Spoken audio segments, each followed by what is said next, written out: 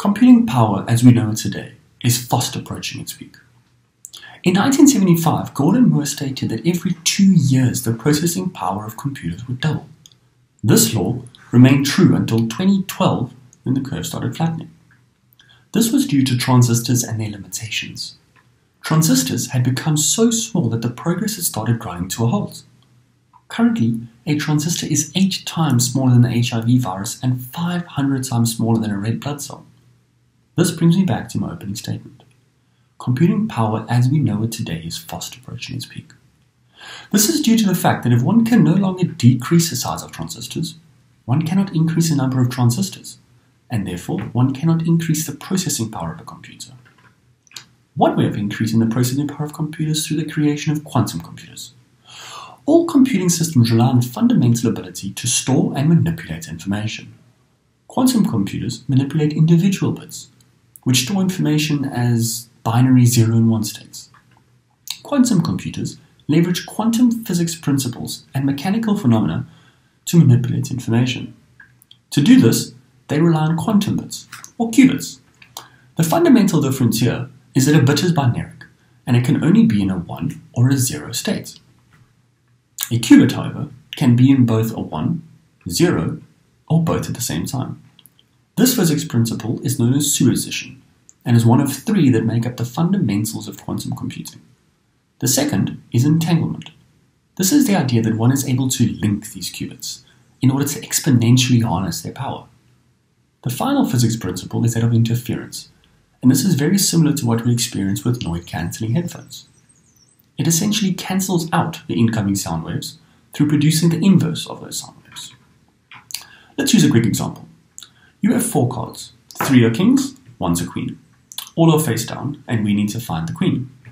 A normal computer would start at the first card and carry on going. It would take a normal computer an average of 2.5 turns to find the queen. However, with a 2 qubit quantum computer, it would always get the queen on the first turn. Why? Every qubit that is entangled increases the processing power by 2 to the power of n where n is the number of qubits. Thus, in a 2-bit quantum computer, you're able to see all four states at once. But why is this relevant? This is relevant because of exponential scaling. Sure, 2 to the power of 2 is only 4 states, but 2 to the power of 10 is over 1000 states, and 2 to the power of 31 is over 2 billion states. This means that if you had 2 billion cards with only one queen, the quantum computer could find the queen on the first move.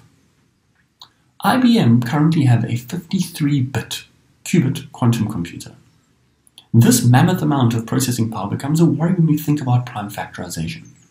Prime factorization is based on Shor's algorithm, and it is the basis of almost all encryption in modern society. Quantum computers can reverse prime factorization in a dangerously short amount of time. This time taken to reverse engineer prime factorization decreases drastically with the number of qubits the quantum computer has. This means that the basis of all encryption as we know it could be volatile.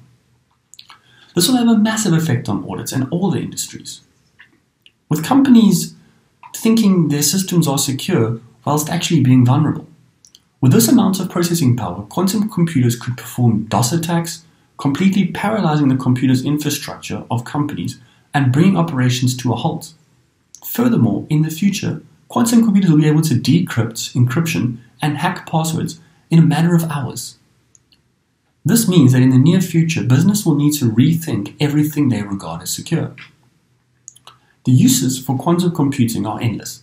In the financial services, the processing power will assist in the analysis of big data. As big data emerges and companies start coming to the realization that data is essential for forecasting, they may want to analyze data sets that are far too large for the average computer. Here, a quantum computer will perform this task exponentially quicker. Quantum power, as we know it today, is slowly becoming a thing of the past. Even though quantum computers are not here to replace normal computers, they will soon become the new norm for operations that require high amounts of processing power. This technology will not only affect the way operations take place, but will affect the whole way enterprises view data security.